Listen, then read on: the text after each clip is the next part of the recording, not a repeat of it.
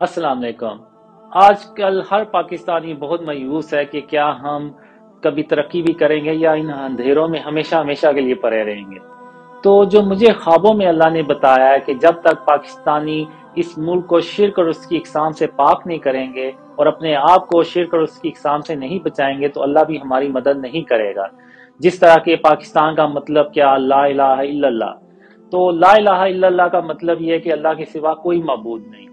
तो अगर हम चाहते हैं कि अल्लाह हमारी मदद करे तो हमें इस मुल्क को शिरक और उसकी इकसाम से पाक करना होगा और अपने आप को भी शिरक और उसकी इकसाम से बचाना होगा। या तो हम वो काम करें जिसका अल्लाह ने हमें हुक्म दिया है, या फिर हम इन अंधेरों में हमेशा हमेशा के लिए परे रहेंगे।